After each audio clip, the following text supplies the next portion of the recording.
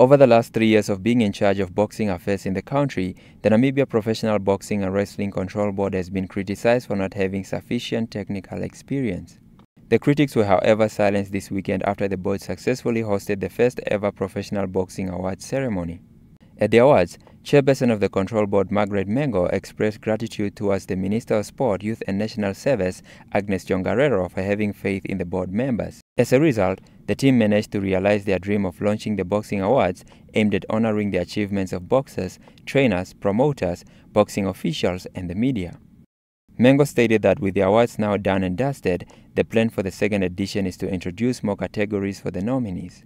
Uh, we first started with the basic categories that is uh, like also important categories, but there are other categories that we're looking at to bring in a few that we've actually spoken of when we were doing the with the judging panel.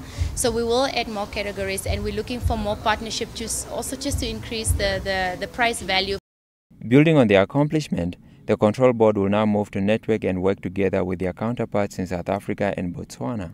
Uh, there's a lot of initiatives going on. We're looking at MOUs to really um, bring um, exchange uh, programs between promoters, boxers, referees, officials uh, with us and BSA, Boxing South Africa. We're also busy helping currently Angola to establish professional boxings so that we can have those uh, boxing bonanzas between BSA and NAM with the different stables from both uh, the countries or vice versa also with Angola. She explained that what keeps them going is the knowledge they have gained in understanding the technical aspects of boxing, allowing them to follow strategic objectives with a focused vision.